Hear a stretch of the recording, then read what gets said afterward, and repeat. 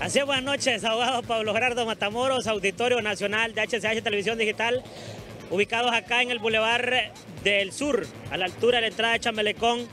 Eh, bueno, aquí están protestando un montón de cosas que no los dejan eh, entrar allá al Centro Penal de Máxima Seguridad.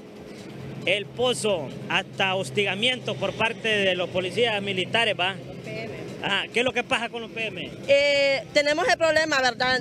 Como buenas noches, eh, aquí como pueden ver todos somos familiares de nuestros internos y estamos aquí peleando los derechos de ellos, ¿verdad? No se están respetando los derechos de nuestros internos. Lo que queremos es que el director eh, Bonilla, nos dé la cara, pues Rosa Gudiel también, que se acerque a nosotros y hable tan siquiera, porque por ellos son maltratados nuestros familiares. A veces hasta lo golpean adentro y no es justo, porque son seres humanos, no son animales los que hay.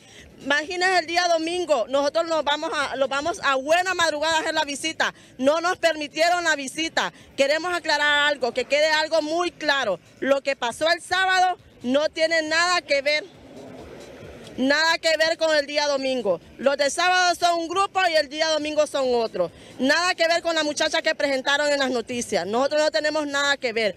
¿Le, encontraron droga? Eh, se supone que le, encontraron droga a la chava y, y quieren involucrarlos a nosotros. No tenemos nada que ver. Queremos dejar bien clara eso. Cada día tiene nosotros. El día de nosotros es el domingo. ¿Los PM le piden el número a ustedes? Eh, mire, los PM cuando los, los acosan con el número de teléfono, si nosotros no le queremos dar el número de teléfono, ellos los dicen que los van a cancelar el carnet de visita. ¿Para qué les piden el número? Pues me supone que es para, para acosarlos, acosarlos después ellos, ¿me entiende? Para escribirlos y todo eso. Y nosotros, y nosotros no vamos a buscar a los PM, vamos a visitar a nuestros reos. Y otra cosa, el 21 no lo prenden. Ellos llevamos los alimentos, los botan a mitad de la comida y no los dejan ingresar donde es eh, una uva, una manzana. El privado de libertad necesita comer, necesita una vez a la semana. Ellos quieren comer sus alimentos, no los dejan entrar. ¿Ustedes son de aquí, Chamelecón? No, nosotros no somos de aquí, pero andamos haciendo esto.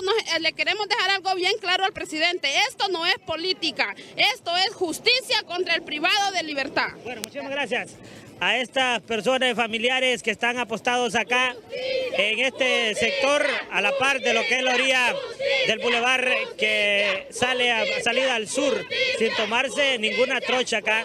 Están parados aquí a la orilla de lo que es el pavimento y la policía también está en vigilancia de lo que pueda ocurrir con esta mega manifestación. Con este contacto a esta hora de la noche, con las imágenes de mi compañero Carlos el Dinámico Pérez, nosotros regresamos a estudios principales. Buenas noches.